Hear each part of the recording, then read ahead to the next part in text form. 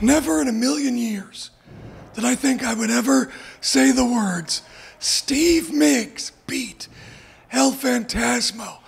No disrespect, Steve Migs, but I mean, El Phantasmo's traveled the world. Yes. New Japan, uh-huh. won titles everywhere.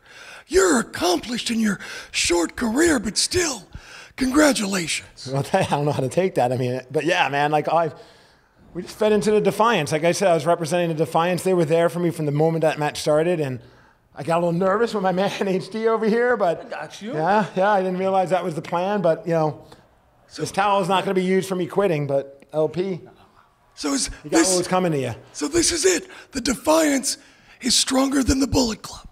You're damn right. The Defiance is stronger than the Bullet Club. The only time we throw in the Towel Valley is to the laundry basket.